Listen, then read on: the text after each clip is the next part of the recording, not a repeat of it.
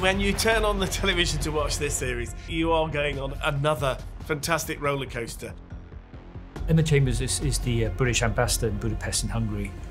She wakes up one morning to find that her sons and husband are missing, and that then sets on a trail of the journey of Baptiste. Help me find them. I thought I was lucky to, to work with uh, such uh, talented writers. The story they wrote for the second season is so bold on the age, uh, questioning uh, our society and relationship with the others. These people are terrorists. You don't negotiate with someone holding a gun to your head. No, you do what they bloody ask. I can say I very rarely get a script as good as this one.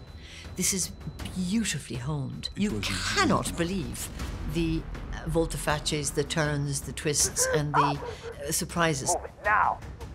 Baptiste 2 should re- resonate with a younger audience. It ex- explores themes of extremism and far right. It's complex and sophisticated storytelling. Yeah, it's a world we don't really see very often on TV. Do not touch anything! This is a crime scene!